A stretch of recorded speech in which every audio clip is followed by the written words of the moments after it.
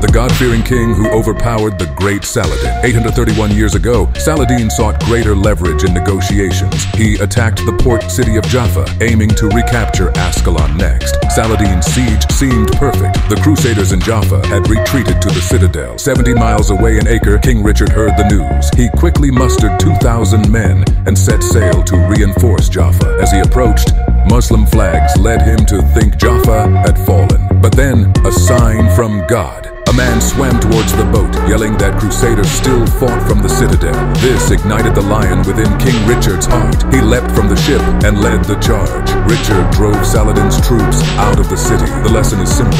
The battle is never over until you decide it is. Subscribe for more virtuous lessons.